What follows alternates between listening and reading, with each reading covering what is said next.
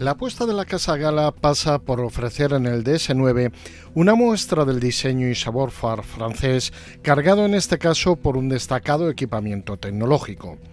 Su aspecto y grandes dimensiones se ven estilizadas por las formas de sus ópticas y un frontal que recibe el ya conocido lenguaje de diseño de DS Automóviles, empezando por la parrilla hexagonal DS Wings, presidida por el Guillochet Clus Paris, característica interior de los DS que aparece por primera vez fuera del habitáculo. Las luces diurnas se ven representadas por una fila LED en disposición vertical que recuerda las formas de unos colmillos.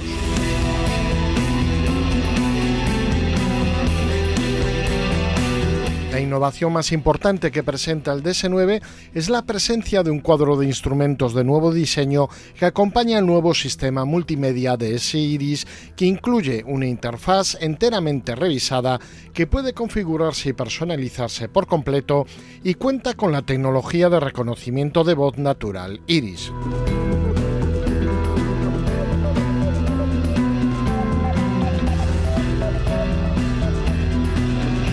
La pantalla táctil de 12 pulgadas de alta resolución muestra un menú compuesto por widgets que permite acceder directamente a todas las funciones para controlar el sistema de navegación conectada a 3D, el aire acondicionado, las fuentes de sonido digital y los datos del viaje.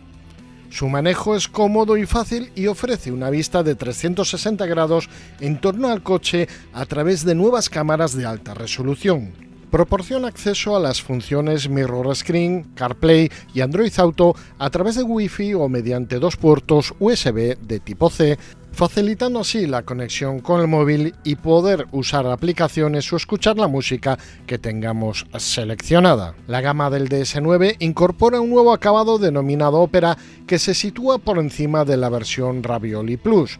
Incorpora mucho equipamiento de serie y tecnología como por ejemplo el sistema de amortiguación controlada por cámara, el pack de seguridad ampliada con conducción semiautónoma de nivel 2, el sistema de detección de fatiga y el de visión nocturna.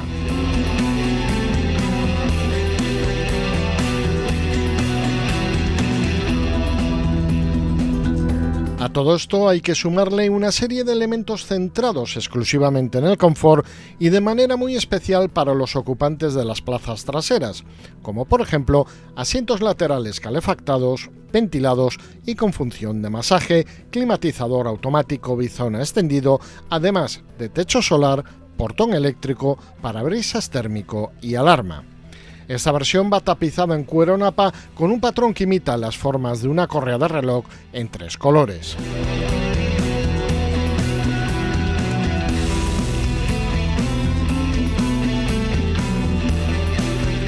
En esta ocasión nuestros probadores han conducido la motorización de entrada, que es un híbrido enchufable de 250 caballos de potencia combinada. Lleva un motor PureTech de 4 cilindros y 200 caballos al que se suma un motor eléctrico de 110. La batería de 15,6 kWh ofrece una autonomía de 85 km en ciclo WTP en modo totalmente eléctrico y el cargador de 7,4 kilovatios permite recargar la batería del 0 al 100% en 2 horas y 23 minutos.